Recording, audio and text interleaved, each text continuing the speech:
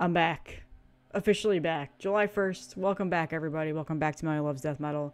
Uh, it has been 18 days since I last posted my video. As I said in that video, I was going to take a couple weeks off, a little bit of a mental health break, and then also I was going on vacation with my family in Maine. Uh, so I didn't want to post anything while I was there, had no intentions of uploading while I was there. So it was a nice break. Um, I'm going to be honest with you, I don't have any intentions of doing videos every single day like I was the last five months. Uh, taking this break made me realize how much I enjoyed not having to think about what video I was going to upload every single day. Um, I'm done doing that. I don't care anymore. I'm just going to do this whenever I feel like it. No consistent upload schedule anymore. Just going to pop the camera on when I feel like showing off a record that I got or talk about a new album that came out or whatever else gets planned in the interim. Uh, I think that's officially what kind of killed it for me is that I tried to make this like a daily thing and I don't want to do that anymore. It just burned me out. Plus I got really tired of of dealing with a lot of the the troll comments and just the overall people who are just act like this is the only thing that matters in the world it's very strange, very strange thing. Um, so yeah, it was nice to take a break, but I'm back now. I've got several records that I've gotten in the last couple of weeks. I, I got home officially from Maine yesterday and had a couple of uh, records sitting in my post office box that were delivered while I was gone, and then the other two records I actually had had for a little while now. I just haven't shown them off yet. So I figured let's start doing the collection updates for the record, rebuilding my collection update as everybody knows, um, or rebuilding my vinyl collection, I should say. As everybody knows, um, that's something I'm doing now. Uh, so you're going to see a lot of vinyl collection updates on here. I'm really excited to do that. Uh, it's going to be very slow going. Um, it's not going to be like how it was where I was doing like three or four of those a week, like not even close. So the, the upload cadence here might be twice a week. I don't know yet. I haven't officially decided, but I don't want to go away completely. Uh, I'm just going to ease back into this again and then just, you know, do the thing. I tried to make this like a, a, a second form of, of like, not job, but just try to make it do it every single day. I just can't do it. I can't do it. It's not, it's not, it's not my thing. Um, so in moderation i think i just burned myself out there for a while. So let's go ahead and get started. Four new records that i got into my collection. Two came last week while i was out on vacation and the other two i got about almost a month ago. Um, one of them one of my best friends his name is kylie. He's been my friend for about 20 years now. He's also a vinyl collector also a huge death metal head. Um, sent me a spare copy of a record that he had in his collection. He said hey uh, I know that you recently sold this, but I, I purchased one of the new reissues uh, specifically for you to have in your collection. It was a bit of a gift. Um, my birthday is this Friday, so it was kind of like an early birthday gift. Um, so, and that is Cattle. I don't think I need to talk about this album at all. This is the newest uh, Metal Blade, I think, European reissue.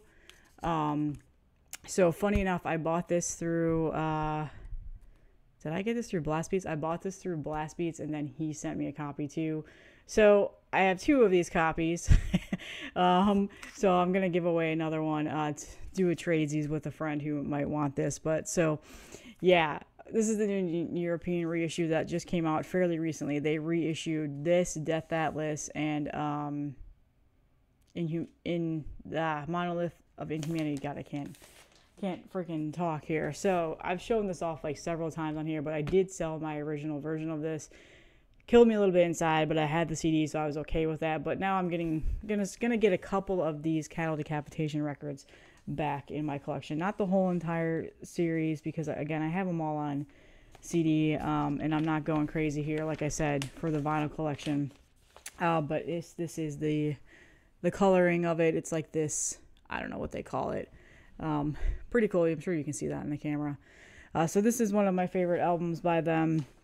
And I'll probably be getting this Death Atlas and then Monolith of Inhumanity again, uh, and then probably call it a day from there. Um, I already have Terrasite as I showed you guys in a previous video.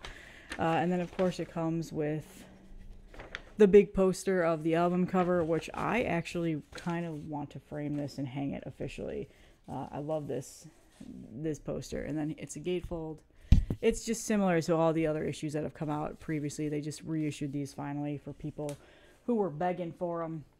Uh, so these can be found just about anywhere. I think for the most part they've sold out. Um, but I think if you go to the Metal Blade European site, they still have them in stock. Um, this is limited to 500 copies worldwide. So, yeah, I love this album. So, I'm happy I have it back in my collection. I spun it this morning. It is bright and early before work. Um, like I said, we just got back from Maine last night, so I'm exhausted today. So, my energy level is a little bit lower than usual. Uh, and the sun is kind of in a weird position right now, so the lighting is really weird in here. But I'm trying to get the video up before I have to start work get back into the grind. So that's the first record that I recently got. And then the next one I recently got, I snagged this. Um, did I get this through Iron Fortress? I don't remember, but I snagged this up like a little bit over a month ago.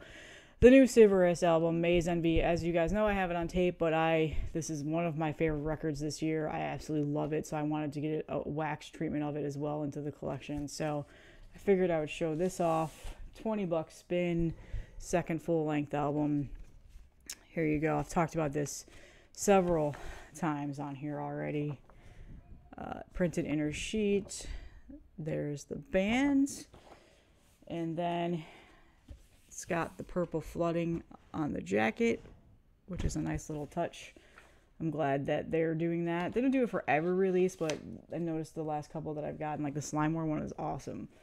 Um, and then this is uh, what is this? B2 Ultra Clear Royal Blue and Deep Purple Tricolor Galaxy. So it's the B2 variant. Um,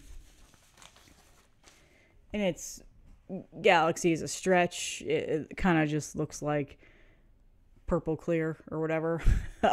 but whatever. I don't care about that too much. So I'm pretty sure I did I snag this from Iron Fortress? I can't remember. Um, so yeah, love this album. Amazing, amazing Death Doom album. One of my favorite releases to come out this year. And on that note, I we are doing the like mid-year our favorite albums so far to come out this year on heavy metallurgy like we did last year with simon uh, marty and alan that is coming up in a couple of weeks and you will definitely see this on that list. Very high up there. I absolutely love this album so much. It's such a phenomenal album. Very somber violins oh, i did a whole video on it so go back check it out. Um, and then the next one is a brand new release that came out, I don't know, like what, a week or two ago? I can't remember what the official date was. Um, it's funny because I had the promo for way over a month before the official release date, so then I forget about the release dates because to me, in my mind, it's already out. I've already heard it. Um, June 28th is when this came out. One of my most anticipated releases this year. I've been super pumped about it, and I again, I've had the promo for a while, so I've already listened to it for several weeks now, but I was excited to get the physical release in, and that is the new 200 Stab Wounds album. Manual Manic Procedures, Metal Blade Records. So, yeah, I was planning on doing a whole entire review video on this, but I just don't feel like it. Um, uh, let's just cut to the chase here. I think it's a great album. I absolutely love it to the point of where when I did the pre-order, I also got the CD, uh, so I can play it in my car. I like to like to play CDs in my car. It's a very nostalgic feeling. Um, so second full length album, their first full length came out on Maggot Stomp a while back, and then they signed to Metal Blade. Metal Blade got the the rights and started reissuing that album as well. Um, and I'm just I'm a huge fan of this band, uh, Ohio death metal band.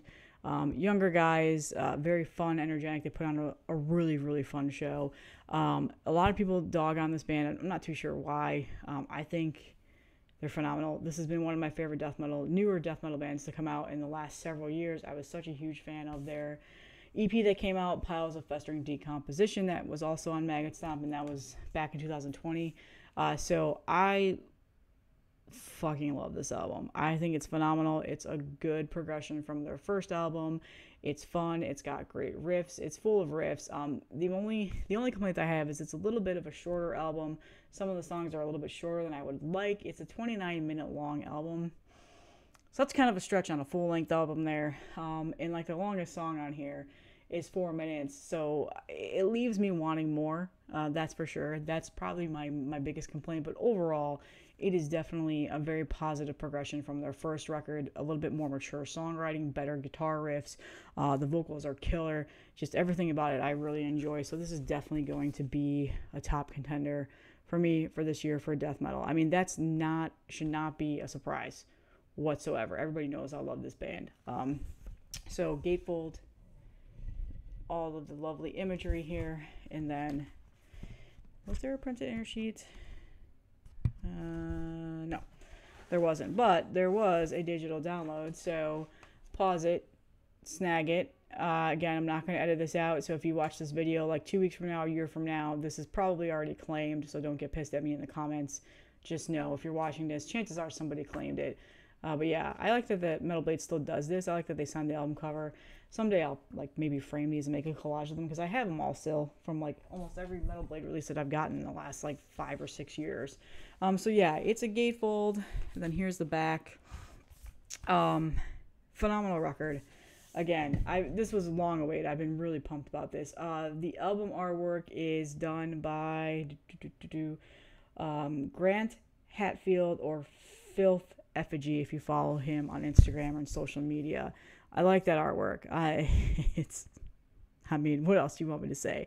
Uh, I think the 200 stab wounds logo. Uh, you know, I, they did what they could to make it stand out. Maybe, maybe made that a different color. I don't know, but that's my only criticism. But otherwise, the artwork is simply phenomenal.